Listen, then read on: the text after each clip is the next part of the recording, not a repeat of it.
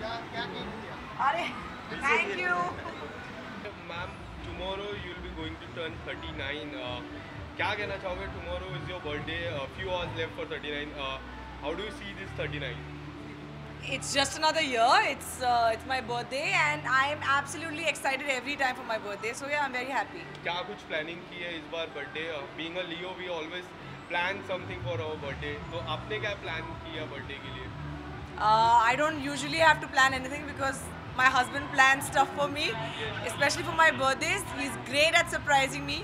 So I just leave it to him, and I know that my family will always be there for me. So I'm very happy. Thank और you. Sir आइए ना sir आपने क्या plan किया ma'am के birthday के लिए कुछ स्पेशल कुछ तो गिफ्ट प्लान किया रहेगा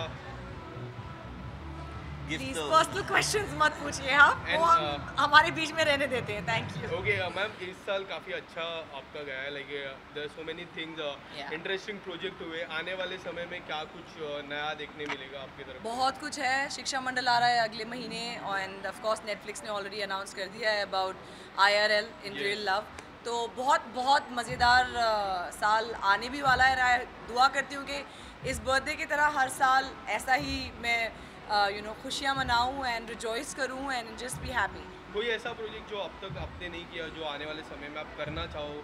आज मेरा बर्थडे है आज मैं काम के बारे में नहीं सोचना चाहती I just want have fun thank you so much thank you